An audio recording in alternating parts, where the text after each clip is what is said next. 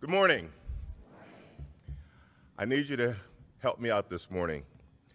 Um, have something for you to do, which really invigorates me. I need you to turn to the person to your right, the person to your left, and tell them, I love you, and there ain't nothing you can do about it.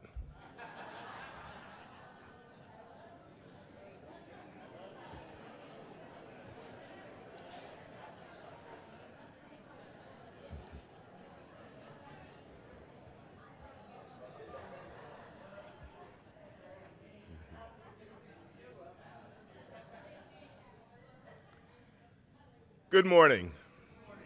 I bring you greetings from Turning Point United Methodist Church, located in the capital city of Trenton, where I am blessed to be pastor.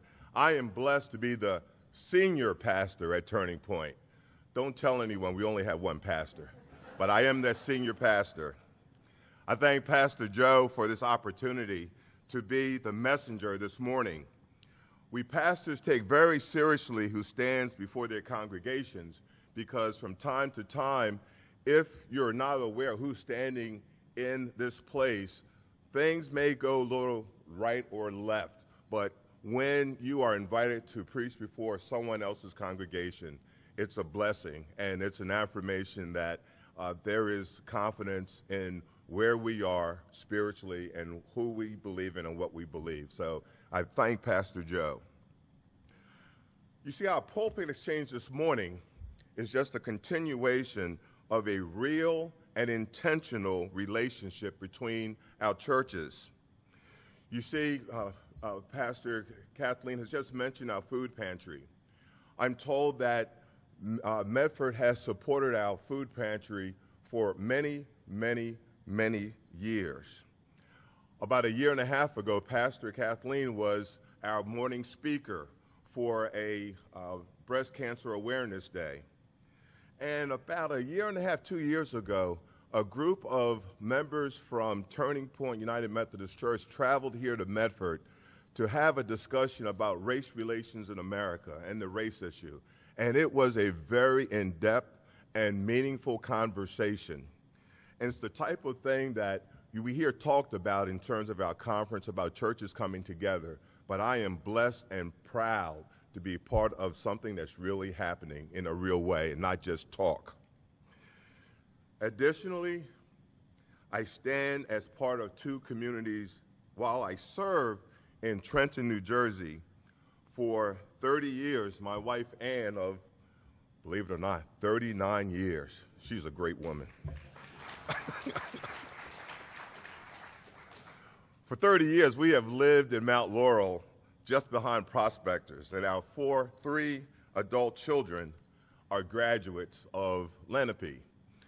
I knew that connection, but as soon as I walked in this morning, I met Scott, and I realized, oh my goodness, Scott and my son Arvell work together, and in point of fact, for the last four years, I have been playing golf with Scott's golf clubs.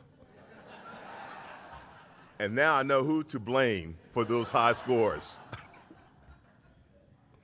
And lastly, I'm happy to be here this morning for a somewhat very selfish, very selfish reason.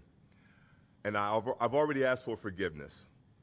A morning drive of 6.8 miles in 12 minutes is a, for at least one Sunday is a lot better than a 27 mile, 45 minute drive.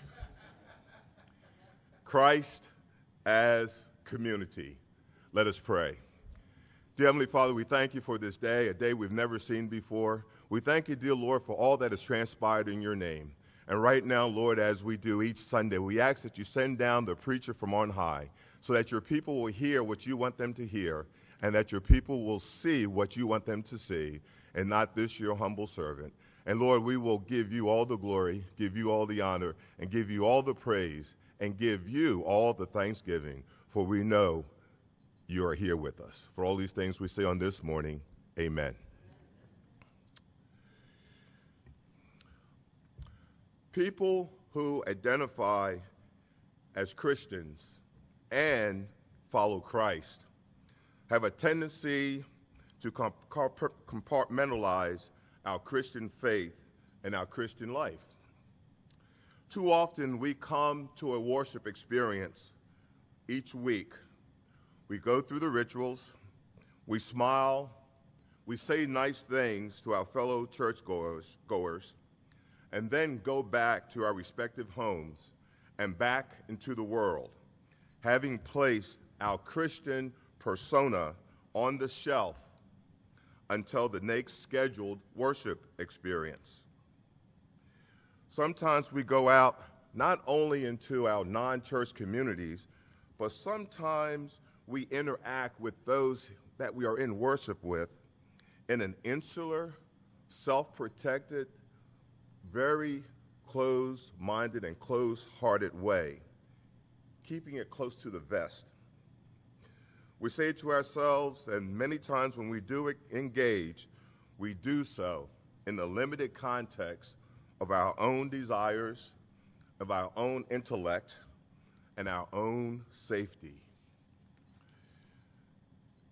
And if we bring Christ into the conversation, it's merely as icing on the cake and not the entire cake. Sometimes we treat Christ as an add on to what we want to do, how we want to interact, who we want to love, and what we want to do. So this morning, I want to explore what it means not just to have Christ in community, but more intrusively, to have Christ as community. In the reading of the scripture this morning, we see that the church of the second chapter of Acts was a community, all for one and one for all. They worshiped together, they loved together, they ate together, they cared for one another. If one hurt, the other hurt. They spread the good news, the good news of the gospel together, primarily by action and less by words. So much so that in this community, with Christ as the center, day by day, there were people added to their number. Not so much by what was said, but what was done, having been Christ centered in love and concern, even for those people outside of their immediate worship situation. You see, Christ was and continued to be the center, so much so that Christ was not merely in the community, but Christ, his love, the unity found in the koinonia, which means community, the sacrificial, selfless lives that they demonstrated, we get a picture of what Christ as community looks like. In his dissertation, Sanctorum Communio, and his guidebook, In Life Together, German pastor and theologian Dietrich Bonhoeffer expressed the core of his Christian belief system of Christ existing within community. Bonhoeffer suggested that there can be no true community without Christ intrinsically at the forefront. You see, Dietrich Bonhoeffer was a very intelligent and very thoughtful theologian, but he was also a pastor. And Bonhoeffer left the ivory tower and he went into the streets. He left Germany and he went to Harlem, New York. And Bonhoeffer taught Sunday school at Abyssinian Baptist Church, a predominantly African American church. And it was said that Bonhoeffer saw Christ as community in his experience in Harlem. But Bonhoeffer didn't stop there. He didn't have to, but he went back because he knew that the community needed Christ. And as a Christian pastor and theologian, he went back to Germany. And Bonhoeffer led a movement against Adolf Hitler as Hitler was being divisive, as Hitler was being very much anti Christ, as Hitler was showing the opposite of Christ like love. Bonhoeffer just didn't stand there and talk about it. He put his Christ like love into action, so much so that he finally was executed. But, but he did it for the sake of Christ, not for the sake of Bonhoeffer himself, but for the sake of Christ. Christ as community. I want to share with you four points this morning. Christ draws us into community. Christ guides us while in community. Christ protects us in community. And Christ is glorified in community. Christ draws us into community. We do good things. We collect food for those people in Trenton. We go to Roanoke on a mission trip. And there's a tendency to say, I'm doing a good thing. That's true, but it's the Christ inside of us that is drawing us to do these things. It's the Christ inside of us that's drawing us to do things like collecting freeze pops.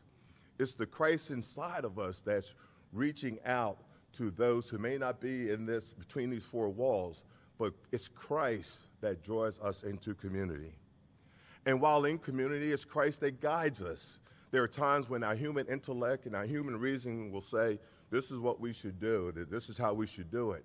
But as we lean and depend on the direction of Christ while we're in community, if we read and wait for that, Christ will guide us while we're in community. Christ protects us in community, not just physical protection, which is important, but also that psychological and emotional protection. Because sometimes when we're in communities, spreading the gospel through action, we're only human. Our feelings get hurt.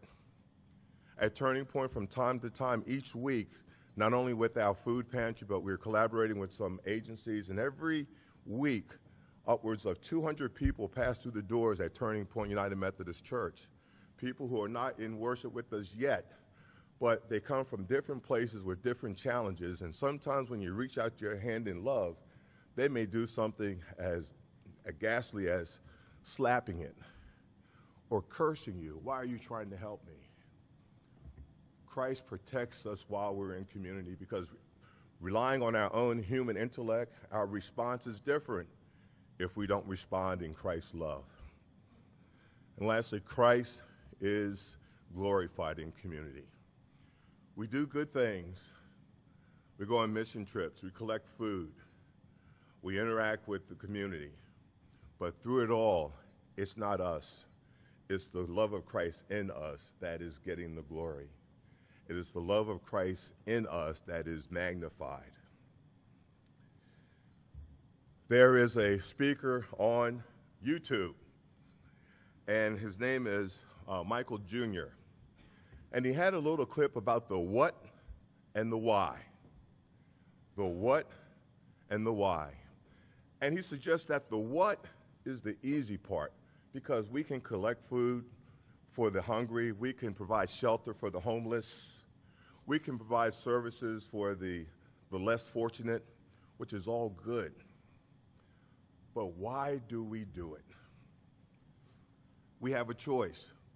We can do it because it makes us feel good. We can do it because we can stand up and say, oh, we, we fed 100 people this week oh, we want to feed 200 people next week. Aren't we great? We collected so many freeze pops. Let's collect, you know, 10,000 next year. Aren't we great? We went on a mission trip to Roanoke. And this next year, we're going to go to Oakland. Aren't we great? That is great in our human intellect. But if we flip that and make the why, we collected those freeze pops because that's an expression of the love of Christ. We collected food to send to Trenton, New Jersey because that's a reflection of the love of Christ. We go on a mission trip to Roanoke. It's a great place. We did good work, but we did it. The why was because God allowed us and blessed us to be a vehicle and a vessel of His love. That's what Christ as community means. It means that things that we do, the good things that we do, they're really good things. but we step back and we say, not us, but it's the Christ living in us. It's the Christ living through us. That's Christ as community. In closing, let us consider Christ as community. As I prayerfully rewrite a portion of the love chapter of the 13th chapter of 1 Corinthians, I would like to leave you with this. If we speak in the tongues of mortals and of angels, but do not have Christ, we are a noisy gong or a clanging cymbal. And if we have prophetic powers and understand all mysteries and all knowledge, and if we have all faith so as to remove mountains, but do not have Christ, we are nothing. If we give away all our possessions, and if we hand over our bodies that we may boast, but do not have Christ, we gain nothing. Christ is patient.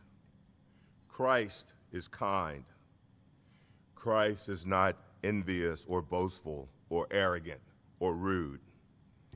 Christ does not insist on his own way to the detriment of others. Christ is not irritable or resentful. Christ bears all things. Christ believes all things. Christ hopes all things and endures all things. Christ is love. Christ, not in community, but Christ as community. Amen.